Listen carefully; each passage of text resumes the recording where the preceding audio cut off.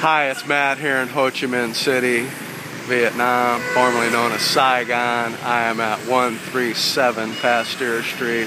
137 Pasteur Street was, when the MACV first showed up in Vietnam, their headquarters prior to building a facility out at Tan Son Nhut Airport in the early 60s.